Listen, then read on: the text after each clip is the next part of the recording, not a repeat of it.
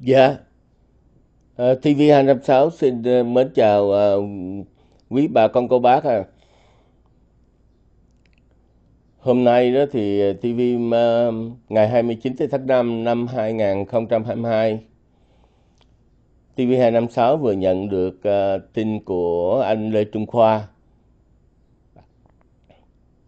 Anh Lê Trung Khoa là là chủ của cái trang mà thời báo chấm DI à, đi à, ở bên Đức. Thì à, anh Lê Trung Khoa đang bị cái những cái lời hăm dọa. Hăm dọa người ta viết những cái comment ở trong trang nhà của anh đó và người ta cho rằng là uh, sẽ cho nhà báo Lê Trung Khoa ăn kẹo đồng. Đây không không phải là lần đầu tiên mà TV256 biết được là anh Trung Lê Trung Khoa đã bị hăm dọa rất rất nhiều lần. Ít nhất là cũng phải là hai lần nữa là gọi là cho là, là ăn uh, tiết canh gan thì ờ, uh, TV thấy rất là phẫn nộ rất là phẫn nộ trước những lời hăm dọa này. Đối với TV256 là tại vì anh Lê Trung Khoa rất là người người, người là người bạn đấu tranh. Đấu tranh giống như TV256 là anh Lê Trung Khoa muốn xóa bỏ cái chủ nghĩa cộng sản rồi là độc tài độc ác nên đang cai trị ở trên quê hương Việt Nam. Cũng giống như TV256 thôi. TV256 khẳng định với quý anh chị em là TV256 là cũng là một nhà đấu tranh mà suốt mấy chục năm rồi. Và TV256 cũng đã từng bị hâm dọa. Họ gửi vào email của TV256 là hâm dọa tử hình TV256 năm lần như thế. Trong cái suốt cuộc đời đấu tranh của TV256 bất cứ ai mà nếu mà cho TV256 không phải là nhà đấu tranh thì ừ, cũng đúng thôi. Họ có quyền làm như vậy. Nhưng mà TV256 khẳng định TV256 là nhà đấu tranh. TV đấu tranh để mà cái chủ nghĩa cộng sản không còn trên quê hương Việt Nam. Cái đảng cộng sản Việt Nam phải bị xóa sổ, phải bị giải thể. Đó là ước nguyện của TV256 TV mấy chục năm là TV đấu tranh cho cái vấn đề đó. Thì ngày nay đó là anh Lê Trung Khoa anh cũng bị những cái lời hăm dọa như vậy. Thì lẽ dĩ nhiên TV26 thấy rất là phẫn nộ, cần phải lên tiếng. Đây là những người người bạn thân thiết của TV256 trên con đường đấu tranh để mà giải thể cái chế độ cộng sản này, giải thể cái đảng cộng sản Việt Nam một cái đảng gọi là treo đầu dây bán thịt chó. Một cái đảng tội ác. Tại vì ngày hôm nay đó, chúng ta thấy là đảng cộng sản đó, họ không không còn dựa trên cái nền tảng rồi là vô sản vô sản chuyên chính nữa. Không còn dựa trên cái nền tảng rồi là nền kinh tế tập trung, công nông trường hợp tác xã, họ không còn nữa. Nền tảng của chủ nghĩa cộng sản là như vậy, là vô sản chuyên chính và nền kinh tế tập trung công nông trường họ đã thay đổi toàn diện rồi. Họ không còn lý do gì để mà mang cái danh gọi là đảng cộng sản việt nam. Họ không còn chính danh nữa. Họ, những người cầm quyền, họ hoàn toàn là những người rất là giàu sang. Tên nào cũng bạc triệu đô la, giống như văn phạm nhiệt dượng đó. Họ có hàng tỷ đô la để họ làm những chiếc xe VinFast. Và ngày hôm nay, anh Lê Trung Khoa đã lên tiếng về cái cái xe VinFast là phải đẩy bộ. Thì vì cái vấn đề lên tiếng của anh anh đã bị những cái lời hâm dọa, gọi là cho nhà báo Lê Trung Khoa ăn kẹo đồng. Quý anh chị em biết rõ mà. Họ dùng chữ kẹo đồng thì chúng ta biết rằng là cái cái cái viên đạn ở trong nòng súng là nó cũng bằng đồng nữa. Thành ra nó, cái cái hình dáng nó cũng giống như cục kẹo vậy thôi.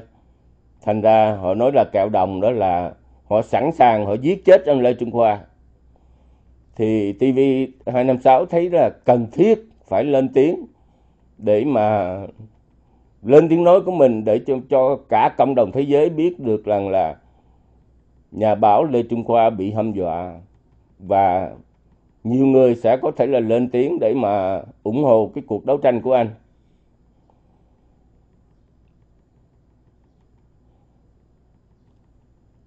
Chỉ có một con đường đó, chỉ có một con đường là giải thể cái chế độ cộng sản mới cứu được quê hương Việt Nam của chúng ta. Quá nhiều tội ác. Những quan chức của cộng sản mà quý anh chị em thấy đó, kể ra thì nó không thể nào hết được không thể nào hết được những cái tội ác của họ từ cái cái cái cái, cái tướng mà đại tướng tô lâm. Ăn bò giác vàng. Ăn bò giác vàng với một bữa ăn 31.000 đô la. 31.000 đô la đó cho thưa, thưa quý anh chị em. Mà họ vẫn gan nhiên gọi là vẫn tiếp tục là bộ trưởng bộ công an vẫn tiếp tục giữ vai trò là đại đại tướng. Và họ còn tháp tùng với uh, ông uh, thủ tướng phạm minh chính nữa qua bên hoa kỳ để chửi thời để làm tất cả người việt nam bị xấu hổ làm nhục quốc thể. Mà họ vẫn tiếp tục như vậy họ vẫn coi thường tất cả những hành động mang rợ của họ. Bắt buộc chúng tôi phải lên tiếng. Không thể nào mà để một cái tên tô lâm đó mà vẫn tiếp tục quyền hành để mà còn tháp tùng theo uh, thủ tướng phạm minh chính nữa. Để làm dục quốc thể chúng tôi phản đối. Giống như anh Lê Trung Khoa cũng đã từng phản đối như vậy chúng tôi nhìn thấy những sai trái của nhà cầm quyền cộng sản Việt Nam. Các anh phải thay đổi chứ. Các anh đâu có thể mà ờ, mà treo đầu dây bán thịt chó như vậy hoài được. Các anh không còn cộng sản thì phải bỏ cái tên đảng cộng sản. Các anh phải lập đảng khác đi, thì TV256 sẽ không nói đến nữa. Còn các anh chơi cái kiểu mà treo đầu dây bán thịt chó suốt mấy chục năm như vậy. Đảng Cộng sản của các anh đã tiêu rồi. Không còn cái gì là đảng Cộng sản nữa. Nền tảng của đảng Cộng sản các anh đã vực bỏ vô sụt rác rồi. Thì phải thay đổi cái tên đảng. Không có thể nào mà tiếp tục dùng cái tên đảng Cộng sản Việt Nam để mà hại dân, hại nước nữa các anh đâu có còn cộng sản nữa đâu đâu có còn một cái thằng nào cũng là ờ, khi mà mới vào ờ, chiếm ờ, chiếm Sài Gòn đó các anh đi bằng giáp râu mà, đội nón te bèo mà. Quần áo áo thì bỏ ngoài quần. Còn ngày hôm nay các anh như thế nào? Các anh đi dài tay, các anh biết thắt ra vát không? Các anh biết uống rượu tây phải không? Các anh ừ, sẵn sàng bỏ 51.000 đô la để cho một bữa ăn bò giác vàng. Các anh đâu có còn là vô sản chuyên, chuyên, chuyên chính nữa đâu. Chủ nghĩa các anh, chủ nghĩa cộng sản của anh đã vứt vào sọt rác rồi. Các anh không bao giờ còn sử dụng mà hợp tác xã công nông trường nữa. Gọi là nền kinh tế chỉ huy nữa. Các anh đã dẹp bỏ rồi. Thì ngày hôm nay các anh phải giải tán cái đảng Cộng sản phải tự giải tán các đảng cộng sản các anh không thể nào mà thô bỉ giống như cái tên Nguyễn Phú Trọng. Cái tên Nguyễn Phú Trọng vẫn sẵn sàng đạp cái điều lợi đảng. Điều lợi đảng người ta làm cho chỉ có hai nhiệm kỳ thôi. Nguyễn Phú Trọng sẵn sàng làm thêm nhiệm kỳ ba nữa. Có phải là hành động lưu manh không? Các anh không có coi mà mà mà luật pháp nội quy của đảng như thế nào nữa và trước đó Nguyễn Phú Trọng đã thất hứa luôn. Ông nói ông chỉ làm thêm cái nhiệm kỳ 2 chỉ nửa uh, nửa nhiệm kỳ 2 thôi là 2 năm rưỡi thôi. Ông hứa với toàn dân như vậy ông hứa với toàn đảng như vậy rốt cuộc làm sao? Ông xóa bỏ luôn. Ông làm thay vì ông làm 2 năm rưỡi cho cái nhiệm kỳ 2 của ông ông làm luôn 5 năm nhiệm kỳ ờ, uh, 2 luôn rồi bây giờ ông muốn làm thêm 5 năm nữa, để nhiệm kỳ 3 nữa có phải là cái thằng đảng trưởng của các anh là thằng Lưu Manh không? Cái thằng đảng trưởng Nguyễn Phú Trọng của anh là thằng Lưu Manh không? TV nói thẳng mặt của của cái tên mà tổng bí thư đảng cộng sản Việt Nam đó. Tên đó là Nguyễn Phú Trọng đó. Nó là một cái thằng lưu manh. Làm sao mà mà mà nó thất hứa với toàn dân như vậy? Thay vì nó làm chỉ có làm 7 năm rưỡi thôi, nó đã hứa như vậy. Mà bằng ngày nay nó làm tới 15 năm. Mà mục đích đó, đó nó kiêm nhiệm gọi là rất nhiều ghế. TV tính ra là nó đã kiêm nhiệm 7 ghế. Nào là tổng bí thư rồi chủ tịch nước rồi rồi ờ, đại biểu quốc hội rồi uh, chống tham nhũng gì đó nó nhiều lắm. Bây giờ nhớ không hết. Thì các anh phải thay đổi. Các anh đừng có nên mà chơi những cái trò mà mà hâm dọa khủng bố. Nói thật thì những cái lời hâm dọa đó mình đâu có biết đến từ ai. Nhưng mà qua những cái tội ác của các anh thì TV256 nghĩ rằng, người ta nghĩ rằng đó là những lời hăm dọa từ cái cái cái nhà nước cộng sản Việt Nam người ta nghĩ rằng, tuy là mình không có bằng chứng, nhưng mà những lời hăm dọa đó đến từ những nhân viên của của làm việc cho cho nhà nước, gọi là Cộng hòa xã hội chủ nghĩa Việt Nam.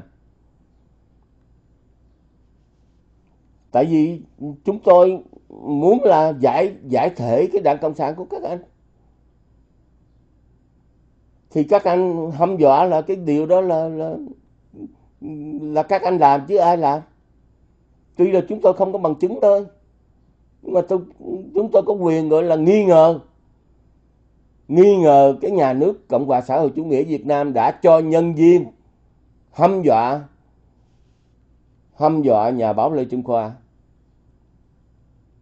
Cái đó là cái những cái hành động mang rợ mà chúng tôi cần phải lên tiếng để bảo vệ nhà nhà báo Lê Trung Khoa. Người bạn đấu tranh rồi là mà tôi vô cùng thương mến. tại vì chúng tôi đồng hành trong cái việc mà giải thể cái cái cái đảng cộng sản chúng tôi đồng hành trong cái việc mà phải làm sụp cái chế độ uh, chế độ mang rợ này cái chế độ cộng sản mang rợ này nó gây đau thương cho cả dân tộc Việt Nam chúng tôi qua bên Mỹ, giống như qua bên Đức. Chúng tôi sống một cái cuộc đời rất là sung sướng. Chúng tôi biết được thì tôi, chúng tôi có nhiệm vụ là là phải làm cái chuyện này. Chúng tôi không thể nào mà để toàn dân Việt Nam mà sống dưới cái ách mà mà gom cùng ờ, xã hội chủ nghĩa được. Sống dưới cái chế độ cộng sản được chúng ta bắt buộc phải lên tiếng. Thử hỏi tôi qua bên Mỹ này. Hai vợ chồng tôi qua bên Mỹ này. Chỉ có trong vòng một tháng thôi. Tôi qua bên Mỹ là năm 1978 thì chỉ trong trong một dạ, tháng sau đó là tôi đã mua được cái chiếc xe rồi chiếc xe hơi rồi. Mà chiếc xe hơi vẫn còn mới. Chiếc xe hơi chỉ, tôi mua được chỉ có 550 đô la. Rồi tôi nhìn lại quê hương Việt Nam như thế nào. Chỉ trong một tháng thôi hai vợ chồng tôi đã mua được chiếc xe hơi và lái xe hơi đi làm rồi. Thử hỏi đó là có phải là một cái giấc mơ không?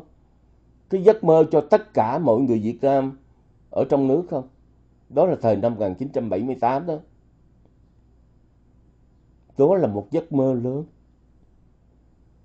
Con người người ta sống được tự do, được đất nước người ta dựa theo cái cái cái dân chủ tự do. Tự do dân chủ nhân quyền cho Việt Nam. Đó là cái ba điều mà mà chúng tôi thấy người Việt Nam phải được hưởng, dân tộc Việt Nam phải được hưởng. Vì thế, khi mà chúng tôi biết được sự thật như vậy, trong vòng một tháng sau, tôi nói không thể nào mà chịu đựng được. Tôi phải đi đấu tranh cho cái đất nước này, cái đất nước Việt Nam mà dân tôi đang đau khổ như thế này. Mà tại sao không dân chủ hóa Việt Nam, không tự do hóa Việt Nam? Không nhân quyền cho Việt Nam. Chúng tôi không được quyền nói. Người Việt Nam trong nước không được quyền nói. Và đến ngày hôm nay cũng vậy. Người Việt Nam cũng không được được quyền tự do ngôn luận nữa. Nó bắt biết bao nhiêu người nó bắt hàng trăm người như vậy. Những anh hùng như cấn thị thiêu uh, trịnh bá tư uh, trịnh bá phương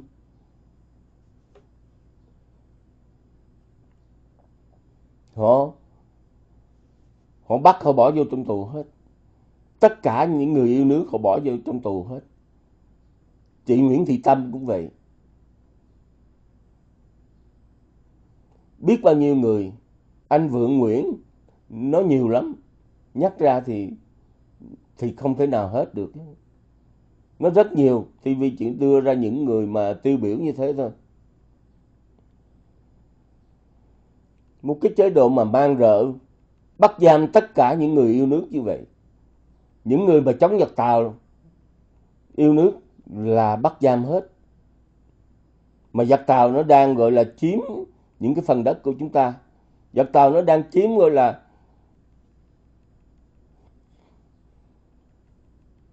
chúng chiếm vùng biển của chúng ta. Nó chiếm hải thang Nam Quang, Thác Bản Dốc, quần đảo. Trường Sa, quần đảo Hoàng Sa, nó chiếm Gạt Ma năm 1988 nó ngang nhiên nó cưỡng chiếm gì nó đem quân để mà nó chiếm những phần đất của chúng ta. Thành ra, người Việt Nam có quyền gọi đó là giặc tàu. Đó là những giặc tàu. Còn chế độ Việt Cộng chỉ gọi là những cái tàu lạ thôi. Họ coi giặc tàu giống như là ông nội của nó còn hỏi những người ai mà biểu tình á, thì nó đạp mặt. Chịu nổi không? Làm sao mà chúng tôi chịu đựng nổi?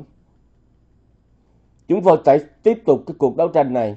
Thành ra tôi vẫn tự tự xưng mình là nhà đấu tranh. Tôi không có sợ hãi điều đó.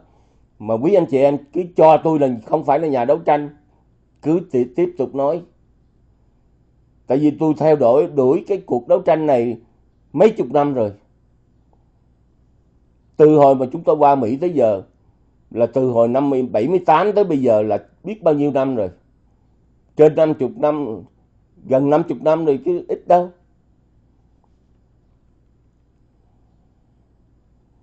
Tôi viết cũng cả ngàn bài viết rồi. Cả ngàn bài viết rồi là là là là, là, là chống đối cái nhà nước gọi là cộng hòa xã hội chủ nghĩa việt nam. Chúng tôi lên tiếng những tội ác của nhà cầm quyền.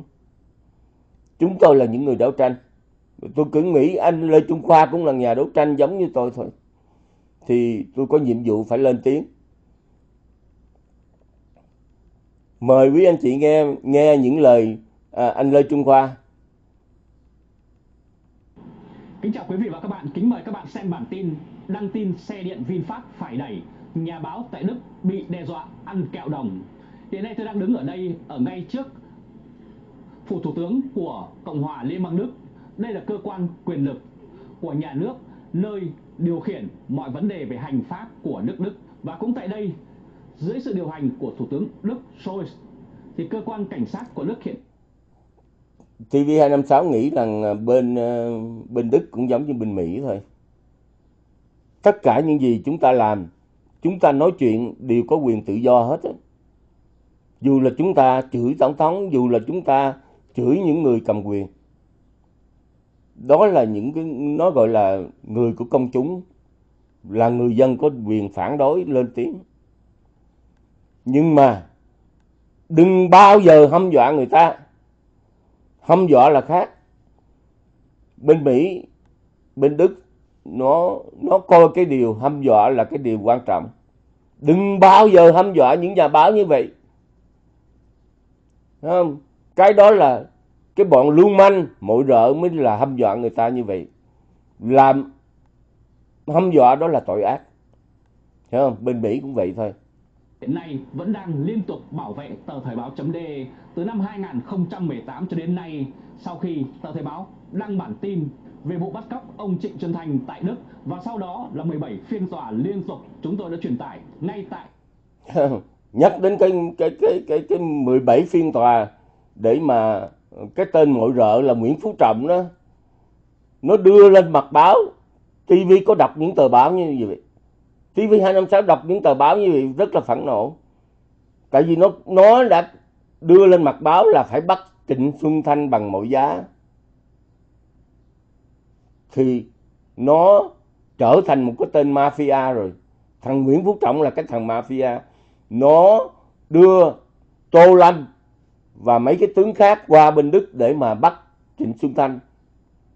Nó ngang nhiên, nó coi luật pháp của quốc tế không có ra cái gì hết Thấy không? Có phải nó là thằng tội ác, tội đồ của dân tộc Việt Nam không? Cái thằng Nguyễn Phú Trọng đấy. Tiêm sảnh của tòa nơi diễn ra vụ xét xử chấn động thế giới cuối cùng ông Nguyễn Hải Long là một người bị cáo trong vụ án đó đã phải công nhận làm việc cho mật vụ Việt Nam sang Đức cùng các cán bộ của Bộ Công an. Đây, cái mặt ờ, đây là cái mặt của Tô Lâm nè, mình thấy mình phẫn nộ liền á. Cái mặt ăn bò giác vàng mình thấy mình phẫn nộ liền á. Rõ ràng như vậy đó, mà vẫn gan nhiên rồi vẫn là đại tướng, vẫn là bộ trưởng Bộ Công an và còn được tháp tùng với thủ tướng rồi là Phạm Minh Chính qua bên Mỹ nữa. Việt Nam đột nhập vào đây để bắt cóc người ngay gần khu vực này. Và bản tin của tờ Thời báo chấm vào ngày hôm qua đó là xe điện VinFast phải đẩy chuyên gia Đức cười lăn. Đó, thấy không? Bởi vậy mà người ta nói mà không tin. Mang cái cờ phúc kiến này đó mà dán để, ở trên cái mui xe như vậy á, nó xui lắm. Nó là cái cờ của giặc tàu. Mình là người Việt Nam không thể nào dùng cái lá cờ phúc kiến của giặc tàu được ai cũng hiểu điều điều đó đó vô trường Google mà sợ coi đây là cái cờ đỏ sao vàng có phải cờ Phúc Kiến của Phúc, tỉnh Phúc Kiến của giặc Tàu không? Nó là cờ của tỉnh Phúc Kiến của giặc Tàu đó. Làm sao mà, làm sao mà nó nó nó tốt đẹp cho đất nước được? Đúng không? Nếu mà không có cái lá cờ này á, thì cái xe nó chắc là không có bị đẩy đâu đúng không? Cái lá cờ này nó xui lắm. Đừng có đưa nó lên. đúng không? Chúng phải ờ, thắng được cái Thái Lan cái là là là là đi bão. Đúng không? Đi bão rồi tuột quần rồi cầm xì lít rồi rồi rồi, rồi dậy dậy dậy dậy lên. Trời đất ơi nó nhục nhã tới cỡ nào. Cái dân tộc mình đau khổ biết chừng nào. sung sướng gì mà thắng một trái banh? Thắng một trái banh đâu có phải là là cái gì? Tất cả là do đảng. Tất lại cả là do đảng để mà mà mà xúi dục những cái thanh niên đó là phải đi xuống đường, đi bảo để cho người ta thấy rằng là Việt Nam mình là anh hùng, là mạnh. Mạnh cái gì ba cái đó? Hiểu không? Mạnh cái gì mà mà lợi tức mỗi đầu dân thì chỉ có hai ngàn mấy đô la thôi. Hai ngàn mấy đô la sống làm sao mà so sánh với, với cả thế giới được? Từ Nhật Bản, Singapore người ta mấy chục ngàn đô la một năm. Lợi tức mỗi đầu người của người ta đó là một năm đó người ta làm tới mấy chục ngàn đô la. Các anh lẹt đẹt đi ở dưới có hai ngàn ba ngàn đô la mà vẫn tiếp tục gọi là giữ cái xã hội chủ nghĩa giữ cái đảng cộng sản để mà ca trị người dân như vậy các anh có thấy nhục nhã không Chẳng lẽ mấy các anh không biết điều này? Chẳng lẽ mấy các anh không biết là cờ đỏ sao vàng là của tỉnh Phúc Kiến? mà do Hồ Chí Minh là một tên gián điệp giặc tạo. Hồ Chí Minh là tên thiếu tá Hồ Quang. Ai cũng hiểu điều đó mà tại sao các anh không hiểu vậy? Không? Nhục nhã lắm. Các anh các anh đưa cái cái cái cái cái cái hình Hồ Chí Minh là đã nhục, cũng nhục nhã vô cùng rồi. Rồi các anh còn hát cái bài gọi là như có bác Hồ trong ngày vui đại thắng nữa. Trời đất ơi! Nó nhục nhã vô cùng các anh à.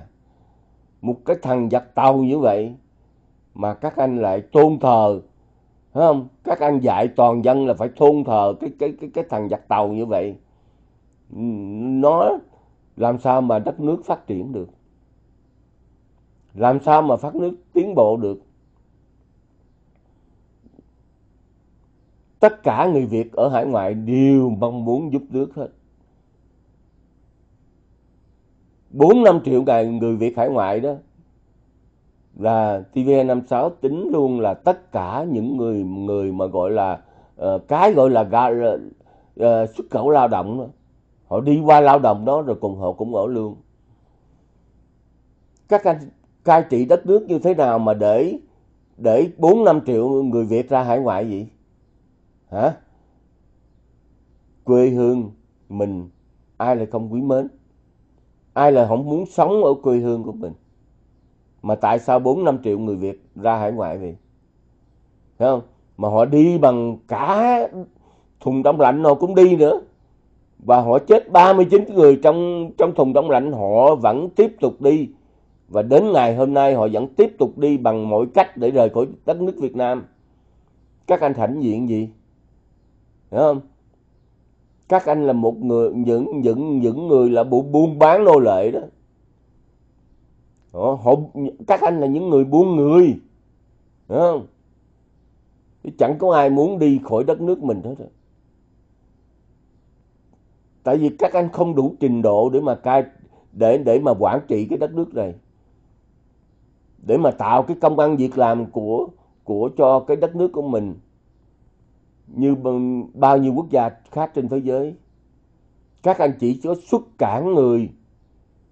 Xuất cản người nó đâu có khác gì mà buôn bán nô lệ. Không khác gì buôn bán nô lệ hết các anh.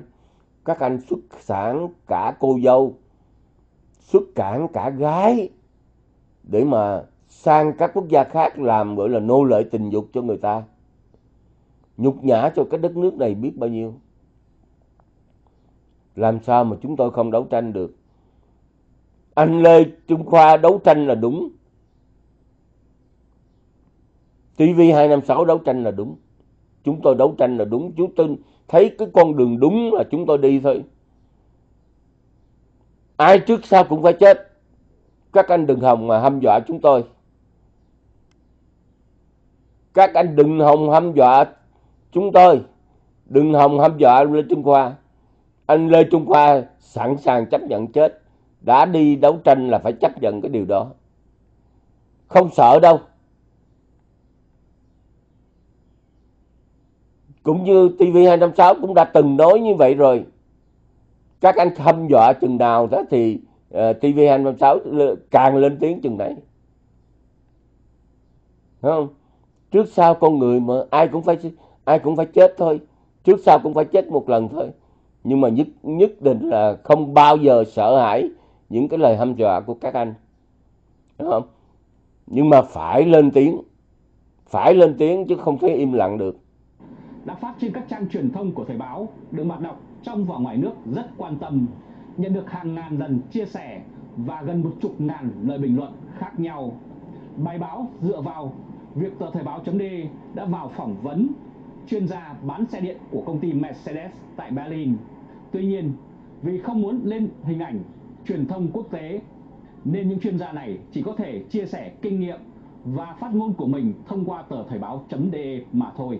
Và có lẽ sau thất bại của dòng xe xăng, không còn niềm tin vào khách hàng, thì giờ đây dòng xe điện của VinFast lại đang được truyền thông của nhà nước Việt Nam tiếp tục bơm thổi để nuôi mộng, chinh phục thế giới. Nó được coi như một cái quốc. Đừng có tưởng là chúng tôi không biết là vì cái lý do gì mà ông Phạm Nhật Vượng ông có hàng tỷ đô la trong một cái nước mà Cộng hòa xã hội chủ nghĩa như vậy. tất cả đều là tham nhũng, đồng tiền của người dân cướp đất của người dân để mà làm giàu trên xương máu của người dân. Chúng ta biết hết. Đừng có nghĩ là chúng ta không biết. Đừng có nghĩ là Nguyễn Xuân Phúc, rồi Nguyễn Phú Trọng hỗ trợ cho cái VinFast này là cái VinFast này sẽ thành công đâu. Nó sẽ từ thất bại này đến thất bại khác thôi. Đừng có đừng có mà mà mà mà đưa cái xe VinFast này ra để mà mà làm giàu bằng những đồng tiền xương máu của người dân. Sẽ đi đến thất bại này đến thất bại khác.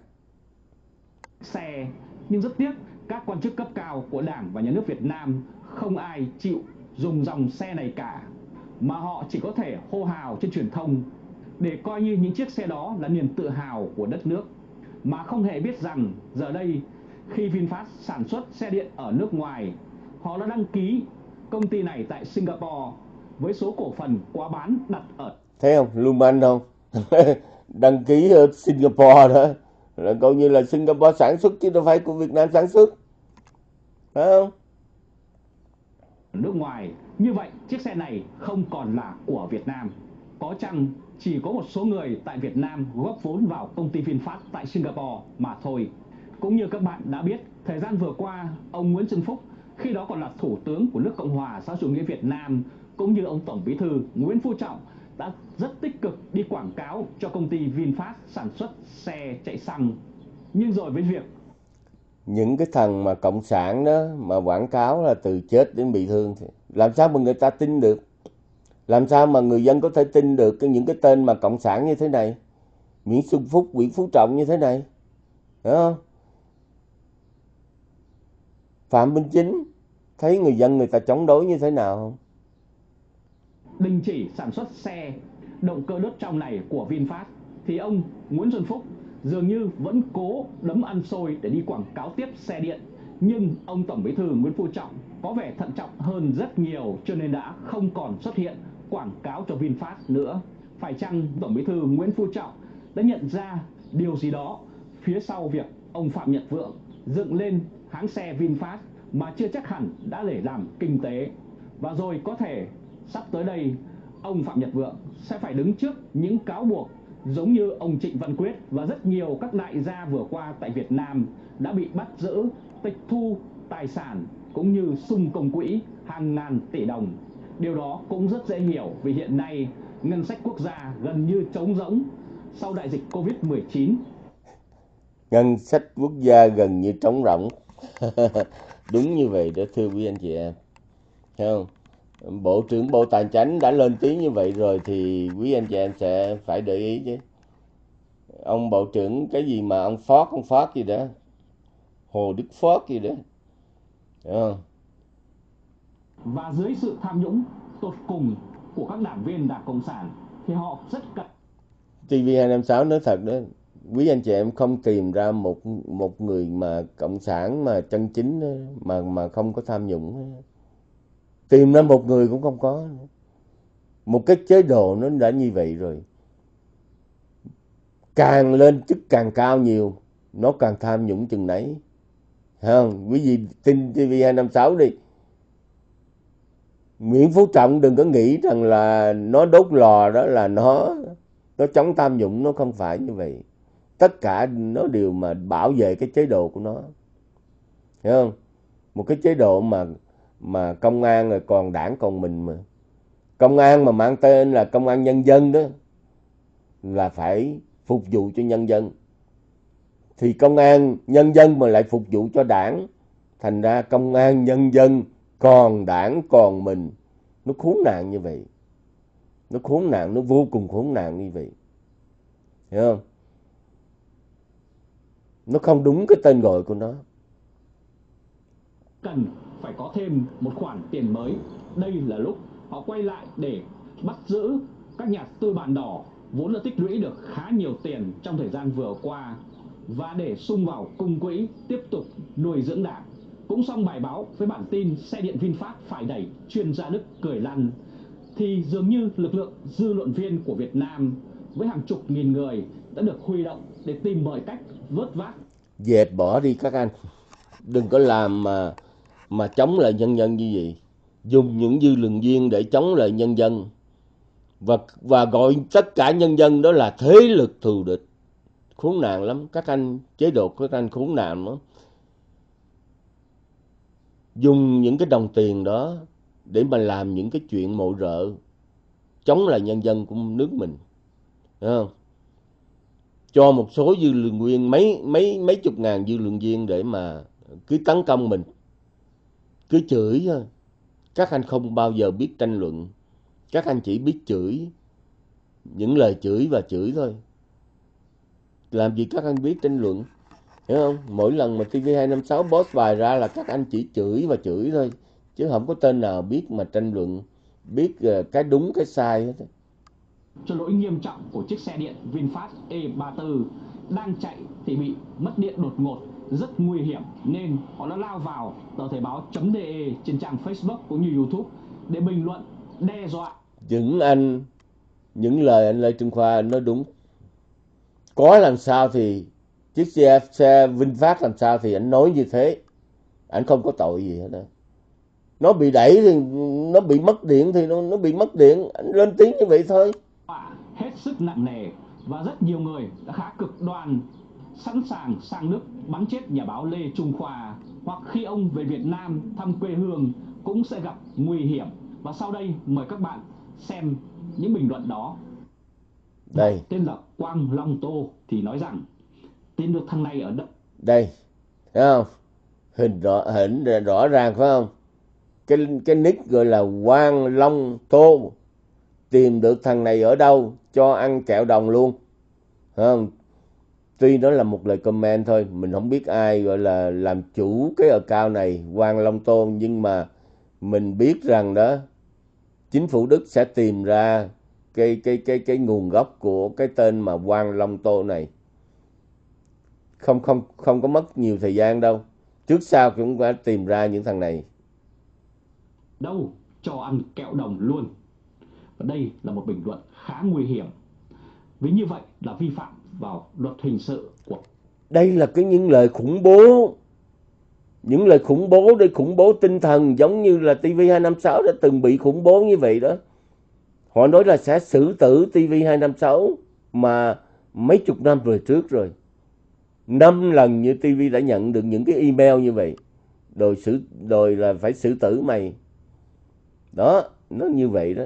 Của nước Đức khi đe dọa giết người và đặc biệt là giết phóng viên, báo chí của Đức đang hoạt động tại nước Đức. Những bình luận như vậy đương nhiên sẽ được thu thập lại để gửi đến các cơ quan điều tra và bảo vệ pháp luật tại Đức truy tìm con người này, họ đang sống ở đâu và buộc họ phải chịu trách nhiệm trước pháp luật khi đe dọa giết người với những bản tin trước đây của thời thời báo chấm .de khi công ty VinFast giao bán xe đi từ năm 2019 và ngay cả sau này, gần đây nhất, đó là việc ra mắt bán xe VinFast tại Đức, thì chúng tôi luôn bình luận thẳng thắn những thông tin mà bạn đọc cũng như tờ thời báo chấm .de nắm được.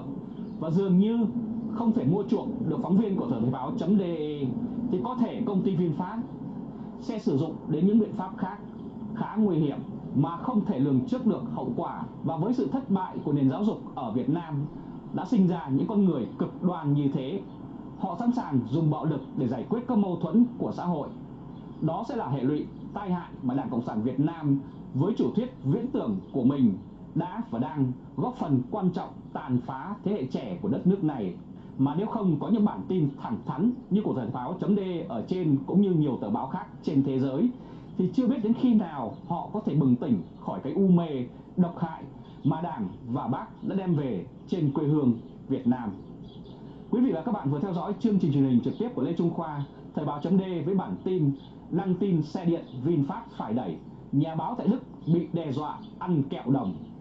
Quý vị và các bạn hãy chia sẻ video này cho nhiều người biết và bấm nút theo dõi YouTube và Facebook của Thời báo chấm để luôn được cập nhật những bản tin mới nhất. Yeah. Cảm ơn anh Lê Trung Khoa rất nhiều. Nói thật, TV256 rất là rất là quý mến anh. Dám gọi là can đảm nói lên tất cả những gì mà các anh em anh dám nói, không có sợ những cái lời hăm dọa nào hết. Và TV thấy là cảm phục anh thêm rất là cảm phục anh thêm vì TV cũng biết chứ không phải là không biết. Nhưng mà anh là cái một người là là uh, cũng đã từng thương mến cái lá cờ đỏ sao vàng. TV biết hết chứ không phải là không biết. Nhưng mà sau này khi ra hải ngoại khi mà anh làm tờ thời báo ờ, uh, DI này thì anh đã thay đổi. Và anh đã nhìn thấy sự thật. Mà không phải mình anh rất là nhiều người nhìn thấy sự thật lắm. Hiểu không? Ca sĩ anh chi cũng nhìn thấy sự thật đó hiểu không? Họ sống ở trong cái bộ máy của nhà nước cộng sản việt nam. Rồi rồi họ bị nhồi sọ, họ bị đầu độc mà họ không biết. Hiểu không? Thì ngày hôm nay đó, chúng tôi lại càng quý mến anh tiệp quý mến, rất rất là quý mến luôn. Hiểu không? Giống như ờ, ca sĩ mà Jane Phạm cũng vậy. Những người tuổi trẻ họ sống ở trong nước. Rồi họ họ bị đầu độc quá sách chừng họ ra ngoài này, họ đủ can đảm để họ nói lên. Thì thì những người đó rất là đáng kính. Trên phạm nha, nếu mà quý anh chị em mà mà mà vô trong youtube để mà tìm kiếm đó, quý anh chị em đánh chữ trên phạm để mà nghe những cái clip của cô, cô ta trình bày. Cô ta là cũng là một nạn nhân. Nạn nhân bị nhồi sọ uh, bởi đảng cộng sản việt nam. Nhồi sọ bởi cái chế độ uh, tuyên truyền toàn là láo khoét. Không? không phải là chỉ mình anh lê trung khoa. Có trên phạm rồi có cái cô mà đoàn thị thùy dương ở na uy nữa. Biết bao nhiêu người? Biết bao nhiêu người bị nhồi sọ. Thành ra đó, mà chúng ta nói nhồi sọ thì họ tự nhiên là họ phản đối rất là mạnh. Đúng không? Họ cho rằng là họ không có bị nhồi sọ đâu, mà họ còn cho ngược lại nữa.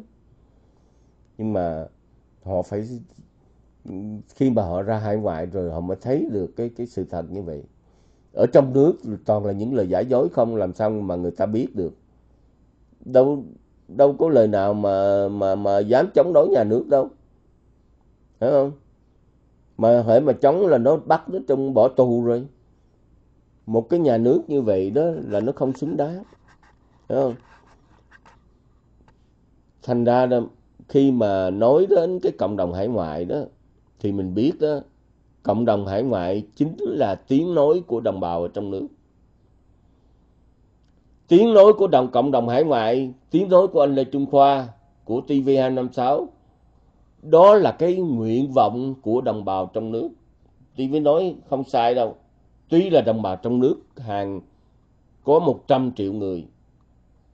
Nhưng mà cộng đồng hải ngoại mới chính là tiếng nói thật sự của đồng bào trong nước. Tại vì người đồng bào ở hải ngoại, họ được có được quyền tự do ngôn luận thành ra họ mới đối lên được cái sự thật ở trong lòng của họ. Còn đồng bào trong nước, làm sao dám nói? Nhà tù đang đợi họ đúng không? Súng AK chỉ sau lưng họ, dùi cui, roi điện. Làm sao họ nói lên sự thật được? Làm sao họ nói lên nguyện vọng của họ được? Thành ra đó, những người hải ngoại này đó, nguyện vọng của họ chính là nguyện vọng của đồng bào trong nước đơn giản như thôi. Nguyện vọng của chính 100 triệu dân là nguyện vọng của đồng bào hải ngoại. Nữa. rất là cảm ơn anh Lê Trung Khoa đã nói thay cho những đồng bào trong nước. TV256 cũng vậy. TV256 khẳng định TV256 cũng là nhà đấu tranh giống như anh. Đấu tranh để mà giải thể cái chế độ cộng sản. Độc tài độc ác và mọi rợ. Nha yeah, cảm ơn Lê Trung Khoa. TV256 xin ờ, kính chào quý anh chị em. Và mong đợi ờ, sẽ gặp nhau ở những clip khác. Và bye bye.